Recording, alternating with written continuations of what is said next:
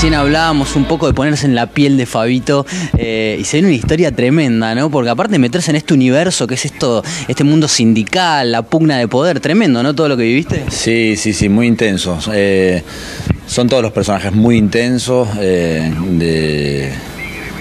muy, apasionados, muy luchadores, ¿no? Fabito es un es un personaje al cual quiero mucho, me parece muy muy divertido la cantidad de, de- universos y de matices que atraviesa el personaje. eh,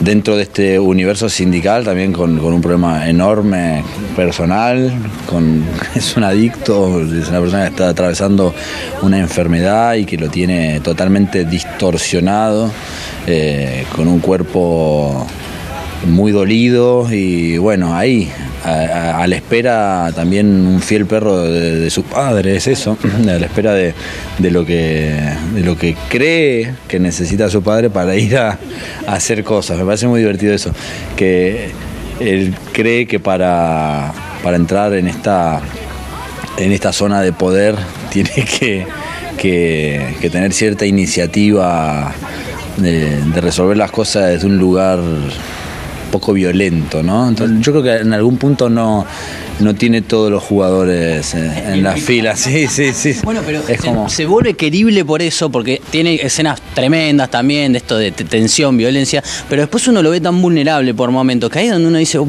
hace lo que puede el tipo al fin y al cabo, ¿no? Como todos los humanos, todos hacemos lo que podemos, ¿no? Y, y sí, eh, no hay nada más lindo que humanizar a un personaje, digo, desde el lugar de la ficción, eh, que también eso es lo lindo, porque me parece que es un personaje que genera empatía.